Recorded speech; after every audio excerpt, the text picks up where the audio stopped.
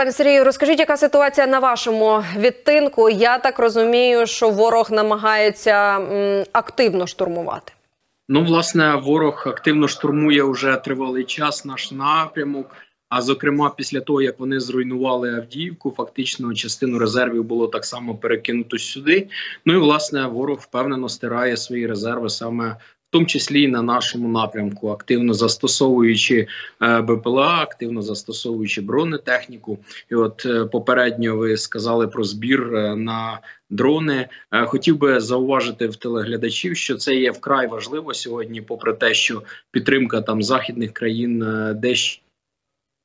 Дуже важливо для війська сьогодні відчувати е, підтримку якраз безпосередньо своїх співгромадян, і вся країна в одному кулаці має якраз дбати і рухати нашу державу до перемоги. Однозначно, кожного дня в кожному етері про це кажу для того, щоб люди не пропускали у ці збори. Безумовно, важливо, щоб вони були перевірені, і люди розуміли, що е, гроші будуть витрачені правильно. Але я щоразу кажу про те, що, до прикладу, дрони це дуже розхідний матеріал на полі бою, з того, що розповідають нам військові. Е, скажіть на вашому відтинку, наскільки наскільки це затребувана річ, да? і от який розхід, як часто їх втрачаються вони, скажімо. Ну я хочу сказати, що буквально за останній рік ситуація на лінії зіткнення ну вона вкрай помінялася. Сьогодні фактично ну таку е, тактичну важливу роль зіграють саме FPV-дрони, саме е, скиди там з елементарних мавіків. От і е, фактично війна проходить таку стадію технологічну в більшій мірі. Так само дуже важливо насичувати фронт е, ребами, тому що як тільки ворог або навіть ми відчуваємо, що десь на якомусь відтинку немає ребів, ну відповідно там е, дронів є дуже багато. І тому дуже важливо, коли там е, хтось із нас бачить якийсь збір, зокрема на реби, дуже важливо їх підтримувати, тому що сьогодні лінія зіткнення фактично без ребів ну бути на позиціях нереально. От це зауважують зокрема всі ті хлопці, які повертаються з позиції, кажуть, що ну просто е, там, де немає ребу, вони над головами по два-три е, дрона зависає і постійно очікує, що хтось із бійців вигляне і атакують.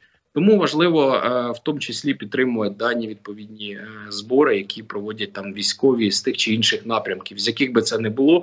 Бо сьогодні фактично вся лінія фронту, от скрізь тактичне велике значення, мають саме і реби. Наскільки сьогодні загалом не тільки ем, дронами, а, а загалом е, технічно, технічно забезпечені сьогодні наші вороги? Чи мають вони щось нове в своїх арсеналах, в своїх резервах? Е, чим намагаються воювати на Мар'їнському відтинку? Ну найголовніше їхнє так зване ноу-хау, так само можливо останнього часу. Це керовані авіабомби. Фактично, от буквально вчора атакували майже всю лінію фронту відтинок, зокрема і наш відтинок фронту, от е, керованими авіабомбами вони мають як психологічне значення, оскільки а, е, мають велику руйнівну силу, яким би ти психологічно мотивованим не був, яким би ти підготовленим не був, але авіабомби ну дуже складно боротися. Тому з нетерпінням чекаємо відповіді, зокрема і F-16 з нашого українського боку. Ну, власне, це таке головне е, технічне ноу-хау ворога за останній час. Ну і традиційно, зокрема, наш відтинок фронту, от вчора і буквально останні дні е, користуються фосфором, поливають і в тому числі мирні українські міста. Класика а, жанру чи забезпечені ми протигазами? Протигазами так, е, в принципі, ну бо хімку, на нашому... бо хімічну зброю вони ж також застосовують. А хімічну зброю вони в тому числі застосовували на нашому відтинку. Так у нас, ну зокрема, у нашому підрозділі е, хлопців е, зобов'язали так само мати з собою засоби захисту від хімічної зброї, тому що ворог абсолютно не стидається його використовувати, попри порушення усіх можливих конвенцій. Ну ми вже е, знаєте, в цій війні напевно застосовували все окрім ядерної зброї, тому ми вже до всього готові. Тут згодна абсолютно. Скажіть ще, пане Сергію, коли говорити про е, цивільних, та які там ну ми бачили, що залишилося від Мар'їнки, а ті села, які загалом є по відтинку, чи є ще там життя? Ну насправді особисто моя точка зору, я би евакуював е, повністю і, можливо, навіть примусово цивільне населення, тому що воно страждає.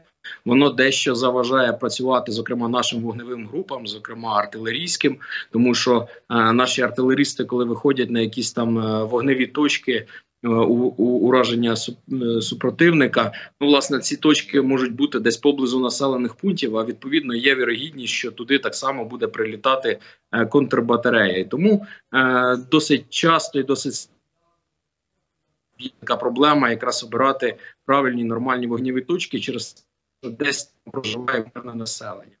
От і тому я би рекомендував би усім а, фактично евакуйовуватися. Так зустрічаються мирні жителі, яким а, фактично, як вони кажуть, немає куди виїхати. От ну власне, ми їх спрямовуємо військові адміністрації і ну, більшості кому